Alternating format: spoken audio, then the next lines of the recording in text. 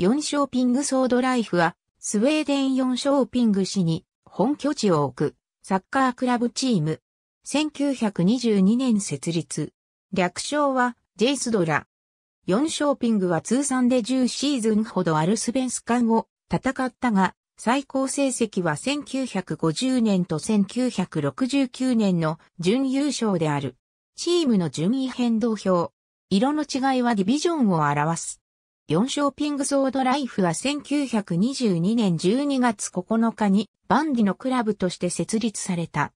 設立当初は総合スポーツクラブとして他にボクシング、アイスホッケー、テニス、卓球なども行われていた。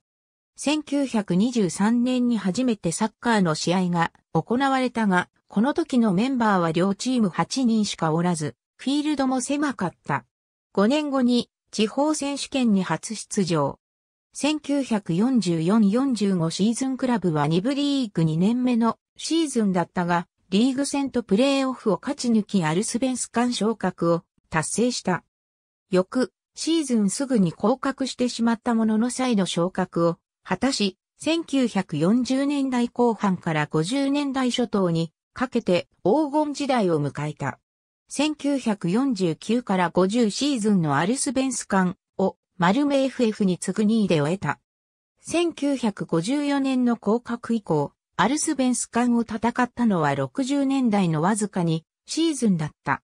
80年代後半まで2部リーグで過ごした上これ、以降徐々に成績を下げていき、1996年は5部リーグを8位で終えた。2003年に3部リーグへの復帰を果たすと、ナショナルチームのコーチを務めていたオーレノルディンを監督、及びスポーツディレクターに招聘した。